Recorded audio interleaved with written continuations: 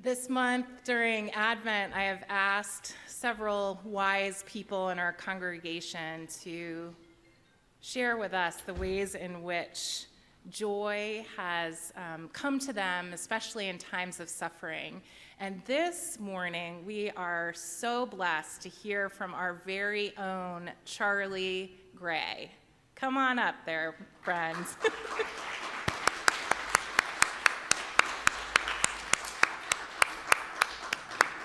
Charlie Gray is one of my greatest heroes in life. He is 96 years old, a veteran, and a special artist and dear friend to every single person he ever meets, and especially dear friend to the First Church in Sterling.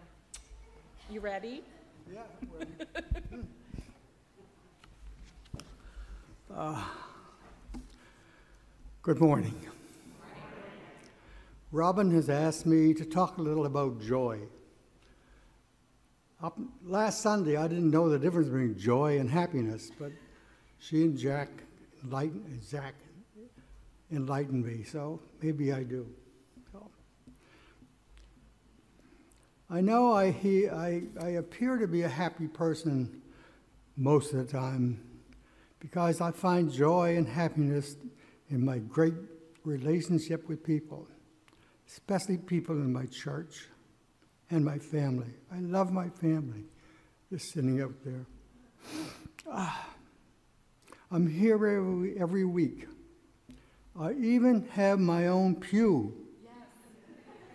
and my own parking spot. Nobody touch it. If I get here early enough, yeah. Jarita has given me the joy of being a greeter at the Saturday communion lunch. That makes me very happy. Like most of us, we have had our own share of sadness. We lost loved, one, loved ones, we've had disappointments. None of us can be joyful all the time. I personally had terrible things happen to me in my life. Being creative makes me joyful. I like to draw, I like to paint, I like to write, and, and I love to teach. Even as a 12 year old child, I like to whittle tiny little wooden figures. Some are on the shelf in my home right now. I'd like to be associated with creative people and my very good luck allows me to be around 20 to 30 people of various levels of skills every week. Some of these people have even developed into my hug buddies. you know who you are. I keep a folder of my writings, and this morning I'd like to share with you one of my stories. While the story is true and takes place during a difficult time. When I read it, it brings me great joy, and I hope it brings joy to you this morning. It's not easy to read this, so bear with me. I'll be able to swell up in the middle of it. I'm pretty sure, I'm not sure of the time, but I'm pretty sure it was around Thanksgiving 1944. I was in the Navy, I was in um, Italy, and we were on the east coast of Italy delivering aircraft fuel to an air base. and the air base was north of where we were. We were stationed in Bari. About six, soldiers, six of us sailors are working to connect our line to the air base line.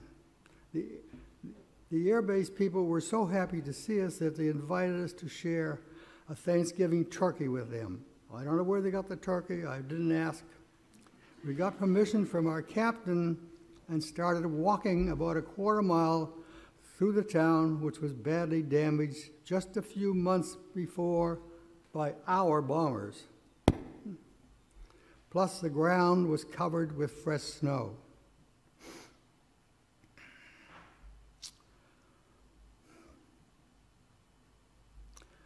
One of our crew members was of Italian descent, and he spoke a, little of the language.